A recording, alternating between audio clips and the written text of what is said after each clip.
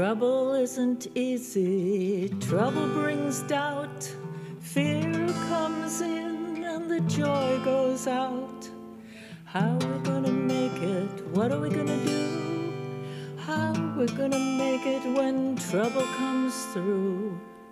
We'll take it bird by bird, little at a time, take it bird by bird and stone time, take it stone by stone. Change isn't easy, change is hard. Fear comes in, it can tear you apart. How are we gonna make it? What are we gonna do? How are we gonna make it when change comes through? We'll take it bird by bird.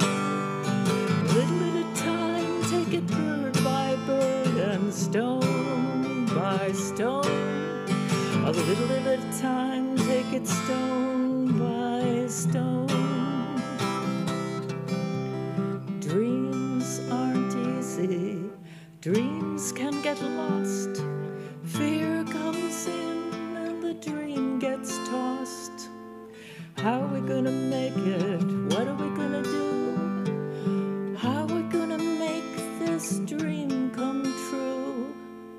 We'll take it bird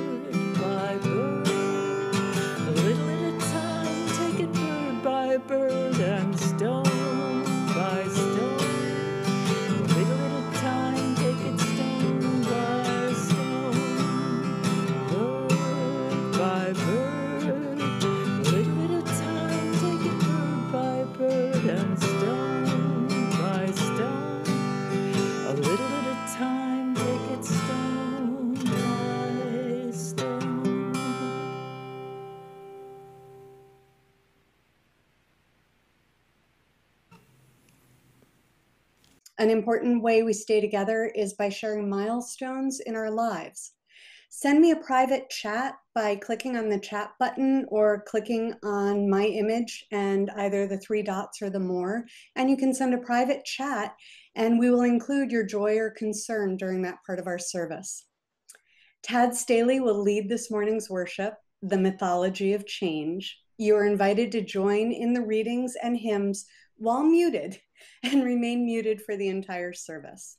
We will invite everyone to unmute for fellowship and conversation during social during our social hour, which is directly after the worship, staying on Zoom. Um, so please make yourselves comfortable, breathe deeply as we settle into worship. We are so very glad that you are all here. Welcome.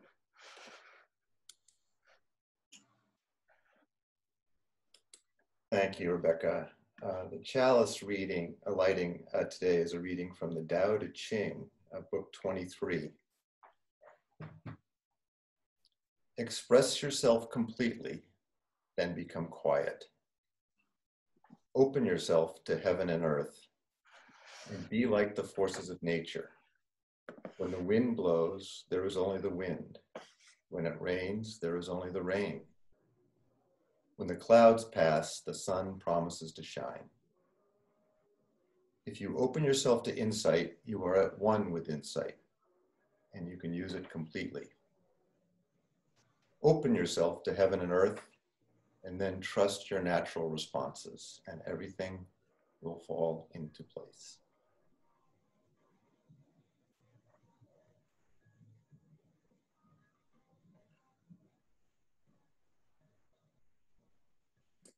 Will you please join me in our unison covenant?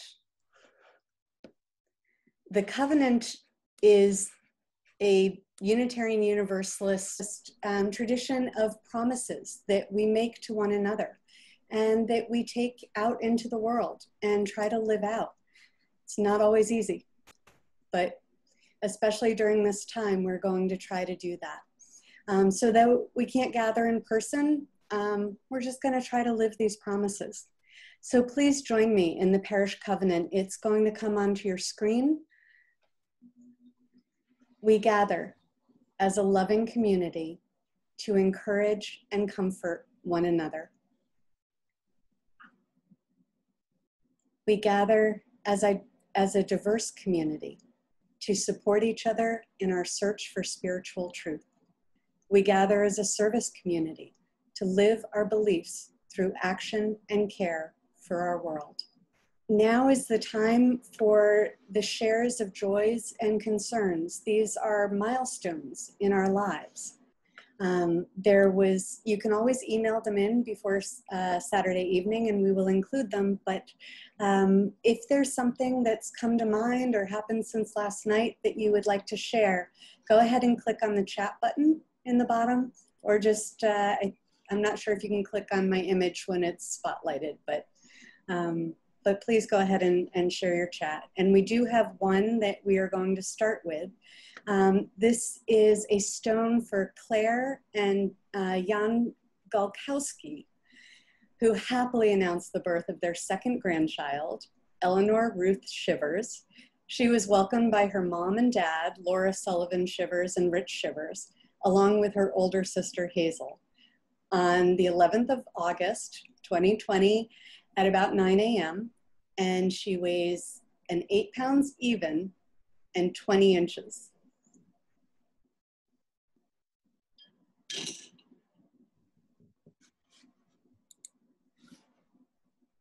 And from Deborah Niles, her son passed his nursing exam. Congratulations.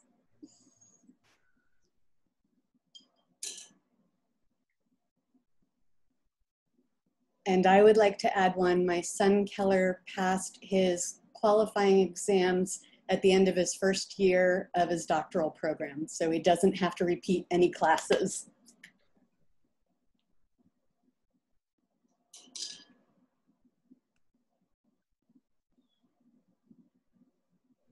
All right. So we'll add one final stone for all of those joys and concerns that remain in our hearts or remain silent until they can be spoken.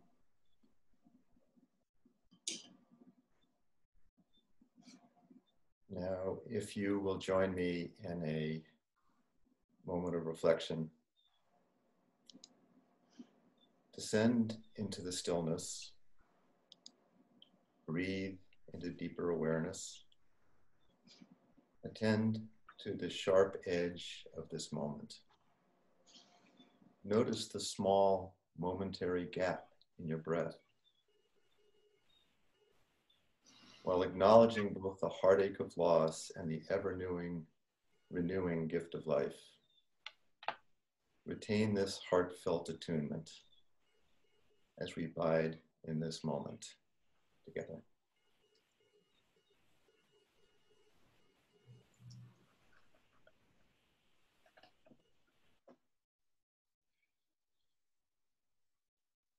I guess I'll just have to say amen for you, Tad. I'm not able to get uh, Irina's music for us here. Thank you. Thank you, Phil.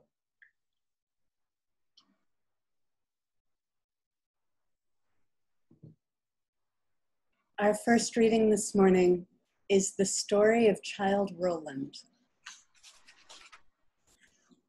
There once was a boy named Child Roland one day while playing in a churchyard with his two older brothers and his sister, Burd Ellen, Roland kicked a ball over the church. Burd Ellen ran to fetch the ball, but went widdershins the wrong way around the church and disappeared. In despair, her brothers sought out the warlock Merlin.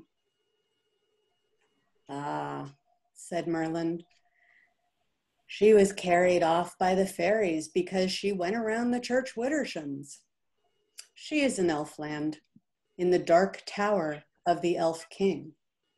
It would take the bravest knight in Christendom to rescue her. The brothers pleaded for advice on navigating to and through the otherworldly realm.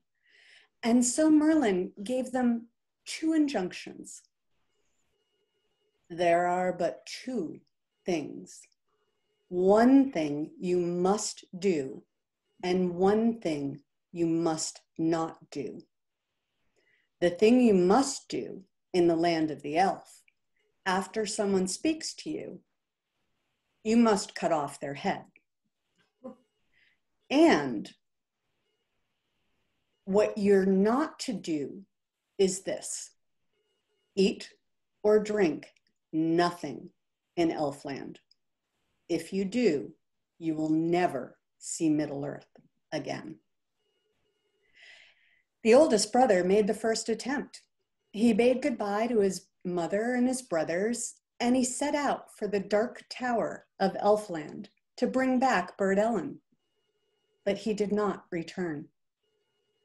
The second brother then set off, but also does not return. Roland begged his mother, the queen, to let him go to that other realm in search of his sister. Reluctantly, she finally agrees, giving Roland his father's sword, which never struck in vain. After a long journey deep into the land of the elf, Roland meets a horse herd, then a cow herd, and then a hen, hen wife. In turn, they offer Roland directions on finding the Elf King's dark tower. Then, in turn, Roland lops off each head. When he finally arrives at the Elf King's dark tower, Roland discovers fair Burd Ellen, his beloved sister, who greets Roland with a lifeless voice. Roland knows what he must do. Trembling, he draws the sword that never struck in vain and beheads the phantasm. And when he opens his eyes, behold, there sat his true sister. Suddenly, they hear a noise like thunder and the sound of a terrifying voice approaching. The doors of the hall burst open, and the king of Elfland blows in like a windstorm. Roland leaps to his feet. Strike, Bogle, if thou darest, he shouts, brandishing his good sword that never failed. They fight until Roland brings the Elf King to his knees, where he begs for mercy. Release my sister from my spells, cries Roland. Raise my brothers to life, set us free and thou shall be spared. And thus child Roland emerged, transformed by his otherworldly ordeal.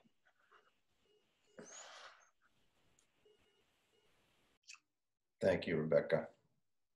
That was really well done. Um, I'd like to start with an invocation from the Roman, Roman poet Ovid from his epic poem Metamorphoses, book one, chapter one, verse one. My spirit drives me now to sing about the forms of things changed into new beings. Since you, God, caused these transformations, inspire what I am going to relate and bring forth an uninterrupted song from the primal origins of the world down to this present age. So let's begin with folk tales. Folk tales and fairy tales and myths have fallen out of favor recently, which may be one reason why I'm drawn to them. But they have a deep symbolic meaning and relevance that I find compelling. Uh, they have this relevance, I think, because in oral traditions, the story was retold countless times each time getting refined to better attune to its audience. So it evolved. With each retelling, the story got deeper and more true. I want to focus here on folktales about heroes, male and female, setting out from home to right some wrong or to seek something lost. Uh, and the journey often involves some sort of a descent uh, or withdrawal into an otherworldly realm. Child Roland is uh, an example of this. Ostensibly, the boy descends in the realm of the Elf King to rescue his sisters, his sister and his brothers. And wasn't that a ghastly image, you know, cutting heads off of people, including his sister? Um, but as taught by Joseph Campbell and others, the hero's downward journey is a parable of transformation. In this case, it represents how an adolescent, Roland, evolves into adulthood. It can be a difficult process, encountering demons and more, and may require things like severing and transforming outmoded childhood relationships. And the downward journey has an older lineage. In Roman myth, uh, the hero Aeneas was guided to the underworld by the Cumaean Sibyl to meet his recently deceased father Anchises. In Greek myth, Orpheus descends to Hades to attempt to rescue his bride, Eurydice. Odysseus visits the blind sage Tiresias in the underworld for guidance on navigating his way back home. And Theseus goes into the underground labyrinth to confront and vanquish the dreaded Minotaur. And that heroic act finally freed the city of Athens from bondage to Crete.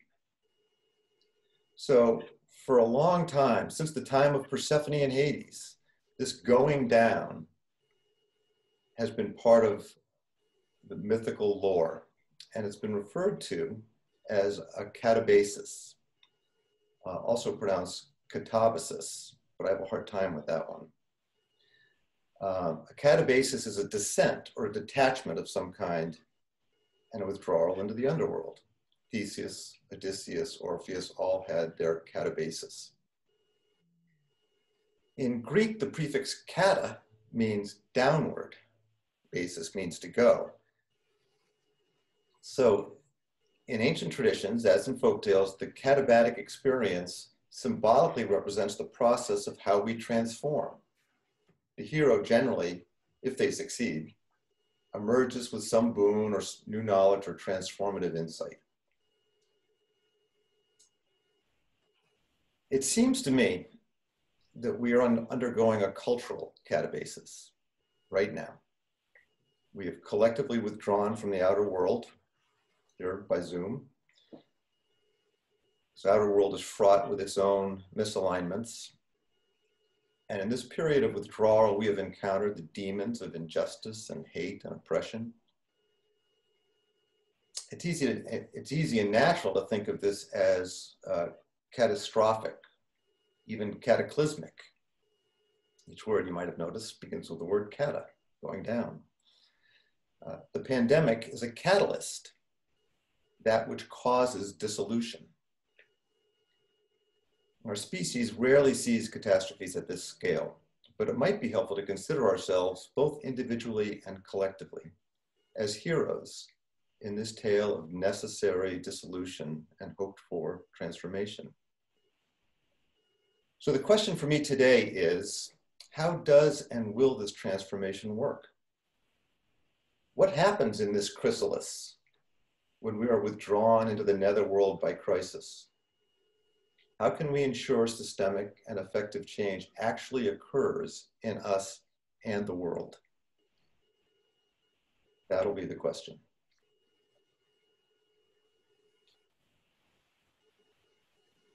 Now, please join in singing hymn 210, Wade in the Water. Your microphones will be muted and the words, I think, are going to be on the screen.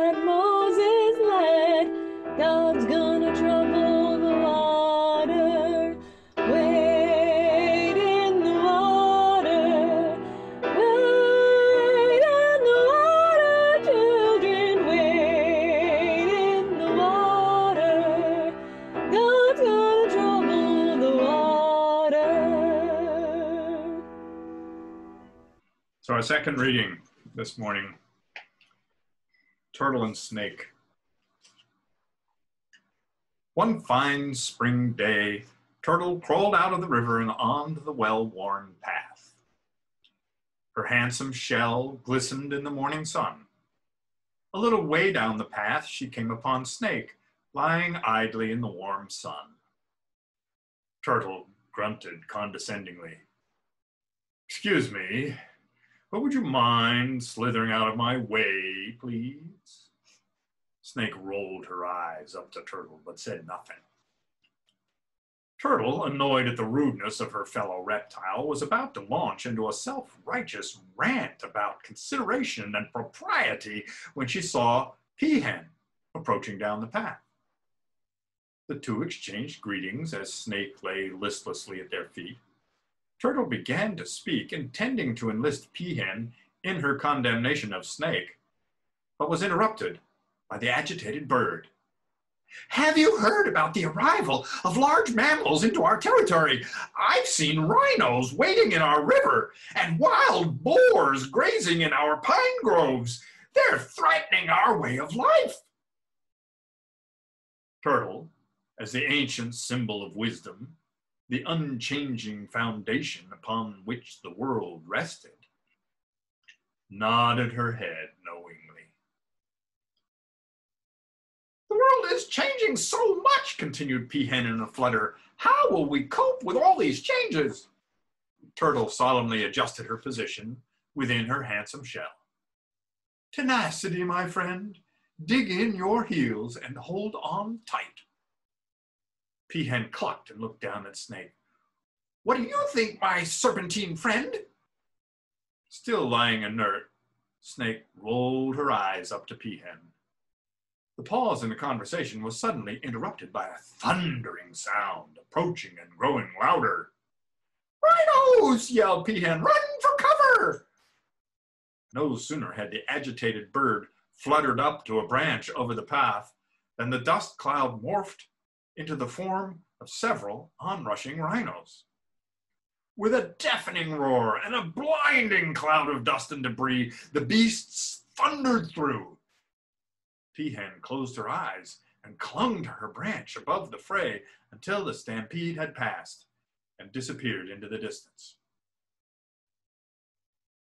Turtle, who had retreated to the side of the path and into her familiar shell, collected herself and slowly emerged. Her face was covered with dust, and her prized shell was slightly more creased and battered, but still remained her most distinguishing feature. Peahen looked down at Turtle with her handsome shell and marveled at her rugged tenacity. In the moments that followed, an uneasy awareness crept over them there in the path were the flattened remains of a snake. It was a perfect likeness, the skin intact, only without any depth. Peahen was aghast in horror. But the very next moment, the tall grass parted, and out from the undergrowth slithered Snake, looking somehow renewed, younger, invigorated. Peahen gawked, then looked at the remains in the road and back to the specter in front of her. But you, you, spluttered Peahen, pointing at the empty skin. Snake, who in many ancient traditions was the symbol for renewal and transformation, smiled. My dear friends, she began, I honor Turtle's stalwart durability, but I think there is another way to approach disruptive change. Here ends the fable.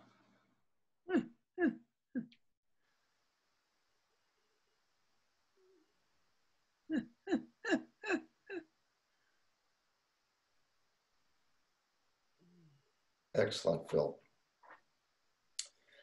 So uh, the rhetorical question I left with last time was, how does this change work? Um,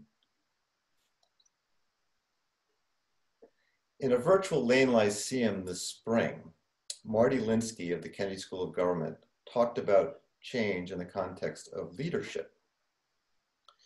Marty described two kinds of challenges, each with its own remedial path. Technical challenge, he said, are problems that are straightforward to identify and solve, and they use existing resources and know-how. Technical problems often lend themselves to cut and dried solution, the kinds of solutions that can be implemented quickly, even by edict or executive order. Adaptive challenges, on the other hand, are harder to identify and much harder to confront. They're often systemic, multi-layered, and may require changes in roles and relationships and values, beliefs, and mindset. And adaptive changes certainly cannot be implemented by edict. According to Marty, leadership that is ineffective or worse treats adaptive challenges as technical challenges to be solved by simple solutions, political ta tactics, or edicts. And today, of course, we're faced with some enormous adaptive challenges, and we have an administration besotted with transactional mindset and edicts looking for quick technical solutions. But for the superficially minded, adaptive changes are too hard, too slow, too complex. They require us to go downward and inward, personally and collectively. And in those depths, there may be demons. Adaptive change requires a hero's journey where we may need to confront those demons as well as the maladapted assumptions and commitments that we may find there and invoking Childe Roland, perhaps some old behaviors and relationships need to be severed. Even more dramatically in the ancient Egyptian myth of Osiris and Isis, uh, as well as the Babylonian myth of Tammuz, the hero is, hero is the one who's actually dismembered in the descent. But this in the myth allows for the reintegration of the old parts as the hero reemerges into a, a new birth. Later this spring, we hosted another virtual Lane Lyceum with Professor Deborah Helsing of the Harvard School of Education, who described uh, our native resistance to deep adaptive challenges, personally and collectively, as the immunity to change. Based on the book of the same name, co-authored by her colleagues Kegan and Lahey, the immunity to change is an internal dynamic which actively prevents us from changing because of its devotion to preserving our existing way of making meaning. The reason change is so difficult, as outlined in this uh, approach, both personally and collectively, is that the systems we have in place, which are mostly unexamined and unconscious, both protect us and provide meaning and context for our lives. So we generally don't go there. This immunity system is comprised of inherited beliefs, underlying assumptions, unquestioned commitments that inform and guide our attitudes and behaviors. To say that I went through the immunity to change process this spring, and it was fascinating, and it does indeed uncover some inconvenient and even counterproductive orientations. Uh, at another time, I'm happy to ch chat about that uh, but not without declaring myself as an expert, but it was an interesting process. Um, so the immune system is present to us in the form of the stories we have inherited or that we interpreted or constructed over time. These narratives are the heart of our life story, which we generally accept uncritically and often unconsciously. It's interesting to note that scholars of mythology say that a story can only be described as a myth by those who stand outside of that myth's culture. For those within the culture, the stories have deep meaning and resonance. They represent really the unquestioned truth. So in a way, we can say that the unexamined assumptions and tacit commitments that comprise our personal narratives, when viewed from outside the system, really constitute our own personal mythology, which is personally but not objectively true. This personal mythology can harden into a protective shell. Like the turtle, it's easy to retreat into the security of the unconscious narratives that are running our lives. But to academic psychologists like Kegan and Lahey, who study the development of mindsets and mental complexity in adulthood, the process of personal evolution and transformation is the process of bringing tacit and subjective thoughts and feelings into conscious awareness, where we can look at them and appraise them objectively. In a way, it's the process of turning a religion into a mythology.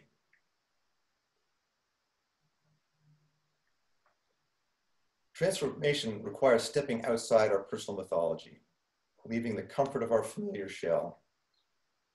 It can be scary. We can feel naked, exposed, and unprotected in the process. This is the katabatic hero's journey. And it's not easy or comfortable. But now, especially, we are called to that journey. The need is so compelling, I don't think we have a choice. Our own mythology, which is steeped in the mythos of our culture, needs to be exposed so we, individually and collectively, can evolve.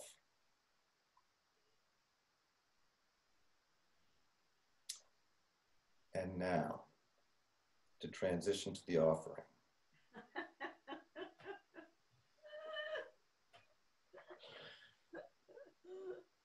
This congregation has been supported by the freely offered time and treasure of its members and friends since its founding in 1711. This is the time in our service when we, the modern stewards of the church, offer to give what we can to build and sustain the world we envision. This summer, our plate collection is shared equally between First Parish and Needham Community Council. There are three ways you can donate to today's offering. If you have a smartphone, you can use our new text to give program by following along with the instructions that will appear in the Zoom session. If you'd prefer to mail First Parish a check, please make it out to First Parish in Needham, put the date of the service and the word collection in the memo line, and then mail your check to 23 Dedham Ave, Needham, Mass. 02492. Alternatively, if you want the money applied to your pledge for either the fiscal year just finished or the upcoming year, put FY20 or FY21 in that memo line instead. And the last and perhaps easiest method is to use our website, uuneedham.org, to make your donation.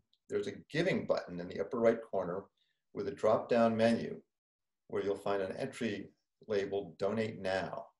Follow that link and signing into your Realm account, you'll be able to fill in your donation information and choose recipient fund for its destination, such as plate collection. Thank you for everything you are able to give and to help support and sustain this congregation and the vital work of our community partners. Please take the next few moments to give what you can and know it will be gratefully received.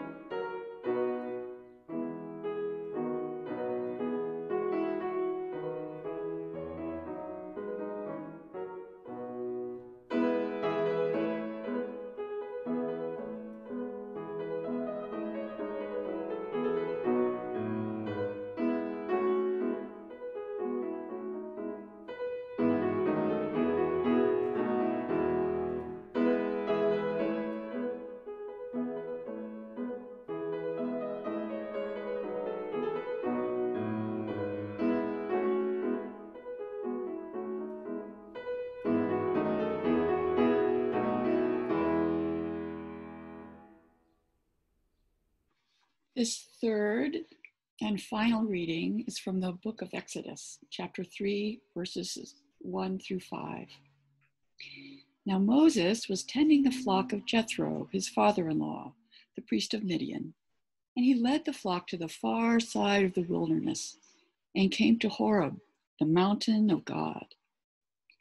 And the angel of the Lord appeared to him in a flame of fire out of the midst of a bush. He looked, and behold, the bush was burning, yet it was not consumed. And Moses said, I will turn aside to see this great sight. Why the bush is not burned. When the Lord saw that he had gone over to look, God called to him from within the bush, Moses, Moses. And Moses said, Here I am. Then God said, Do not come near. Take your sandals off your feet, for the place on which you are standing is holy ground.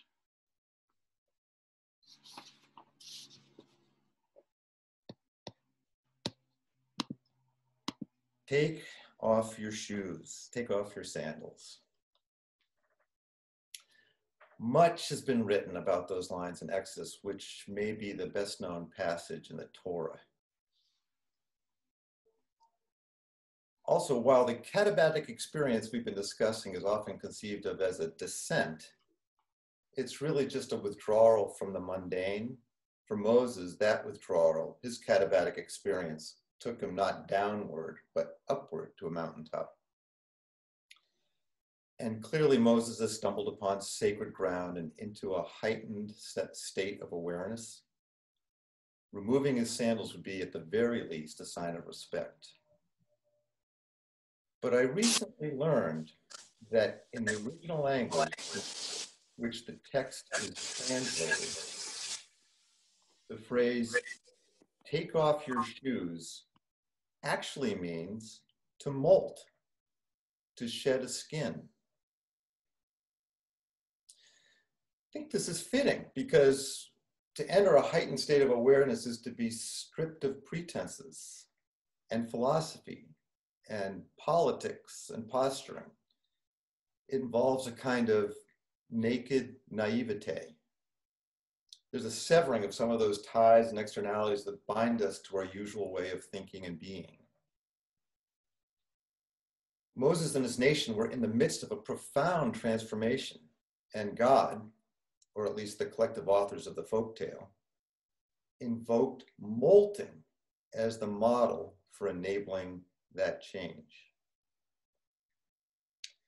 The katabatic process is a liminal experience because it's transitional, transforming from one state to another. And at the heart of many religions and mythologies, there is the understanding that this liminal state is sacred. So this brings us to what I think are the three keys to the transformation process to which we are called. The first is a recognition that in its essence, the process is spiritual. It's not mechanical or technical. It requires not tenacity, but a letting go.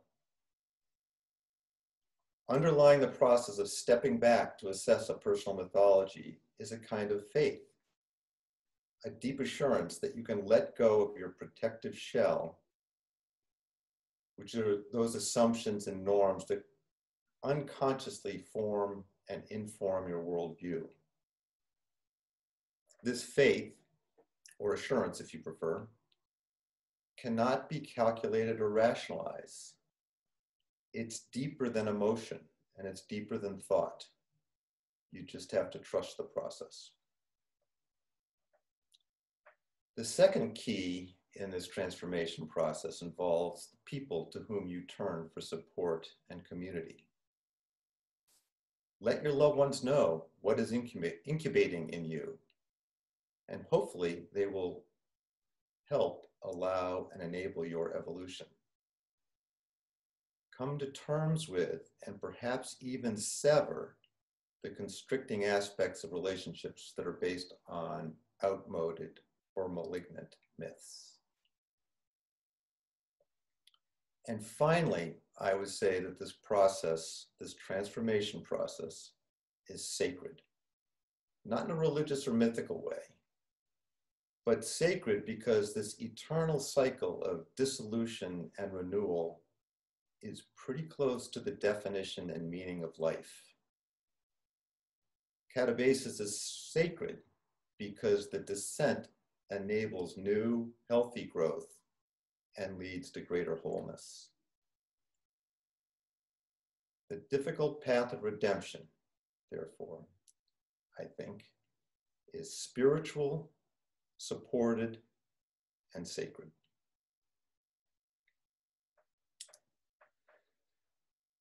The catabasis, catabasis of 2020 was, in some form, inevitable. We've been dragged downward, in, be, in part because as a society, we would not do the work of deep adaptive change that has been required for so long. But the descent is an opportunity for renewal. As John O'Donohue wrote in one of his marvelous blessings, may you find in yourself a courageous hospitality toward what is difficult, painful, and unknown. May you learn to use this illness or hardship as a lantern to illuminate the new qualities that will emerge in you. May it be so.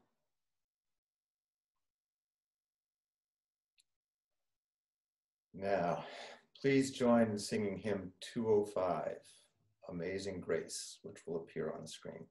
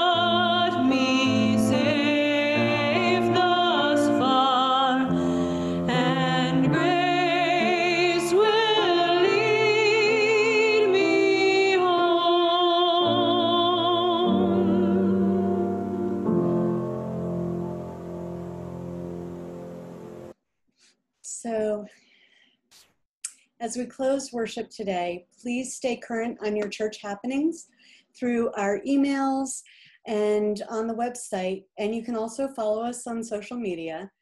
Um, that will let you know all of the opportunities to connect with our faith community.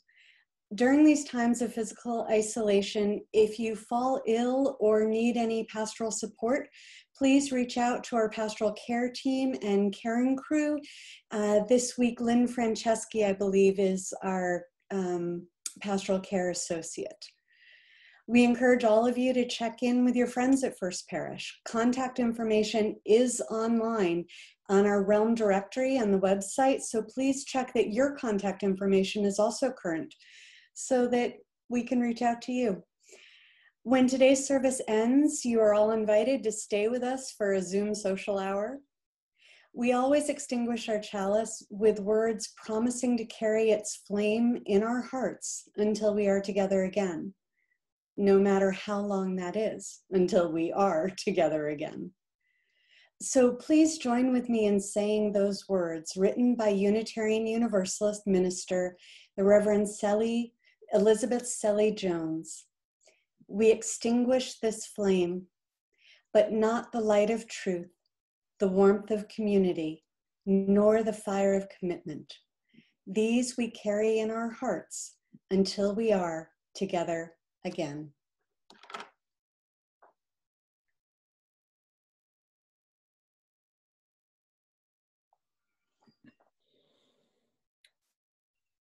The benediction is from the Tao Te Ching, Book 16.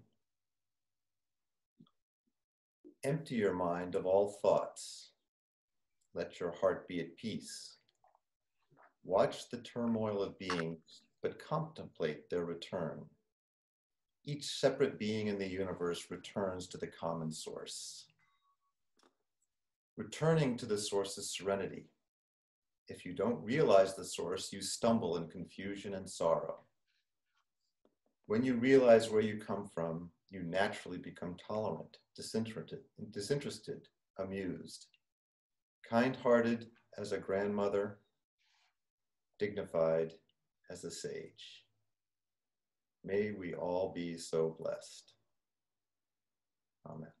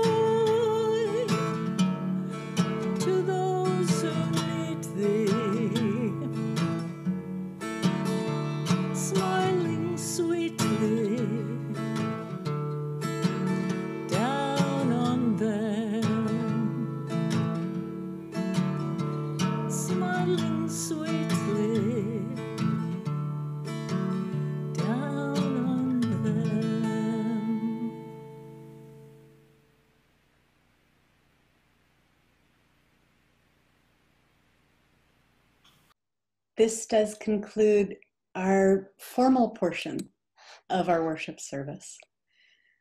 But we hope that you'll all stay on for the social hour.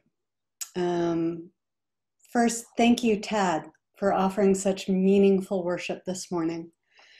And the technical aspects of this service were handled by Phil Lyons and Becky Siebens. So thank you, Phil and Becky. Um, feel free to stretch, grab a drink, or attend to your personal needs, or stay here and chat. Um, we'll be back in a few minutes to start the formal part of our social hour. So please go ahead and unmute yourselves and greet your virtual neighbors. Hi. Hi, everybody.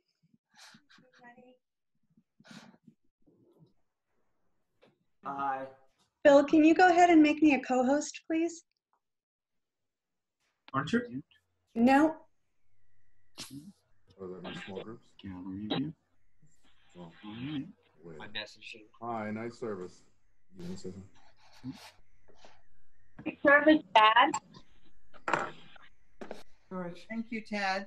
Thank you, Tad. Thank you. thank you, Tad. Very good. Really enjoyed it.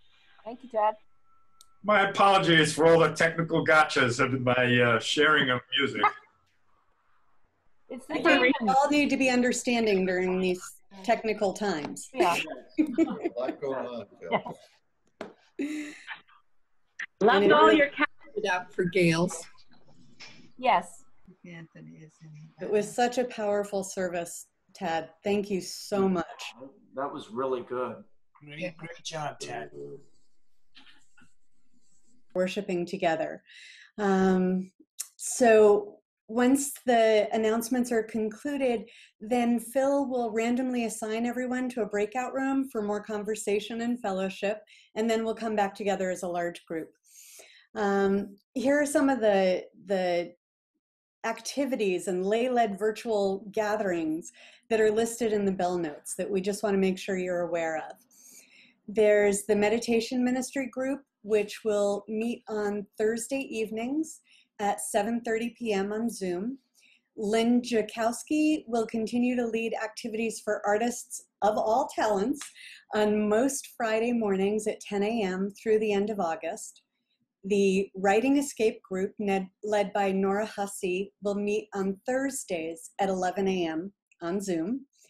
And Sue King is organizing a blood drive to be held on Saturday, August 29th, 9 a.m. to 2 p.m. in the parish hall. Pre registration with the Red Cross is required for that. And the link is in the bell notes, or you can email Sue directly. And the Zoom links and passwords for all of the, the activities that are online are listed in the bell notes email. So please check your email. Even though the Needham Children's Center and the ballet school have reopened, and we are hosting the blood drive at the end of the month, the church building is still closed for congregational activities until the end of September at least. Please keep practicing your social distancing, wearing your masks, and helping to protect your family and the wider community. If you need to contact the church office, use phones or emails, and be aware that Susanna will be taking a week off starting tomorrow, August 17th. She will return along with Reverend Katie and Roberta on August 24th. And then we will have our staff back again. And during this time, we realize just how wonderful they are and how much we miss them all. For personal support during this time, don't hesitate to reach out to our pastoral care team and the Karen crew. They are here to assist all of us. To reach them, you can email pastoralcare at uuneedham.org or leave a voicemail at the church office. As you probably heard in the service or just earlier, Lynn Franceschi is our pastoral care associate for this coming week. Finally, I want to remind you that our services are recorded. So subscribe to our YouTube channel and you can stream them there anytime and all of the past services.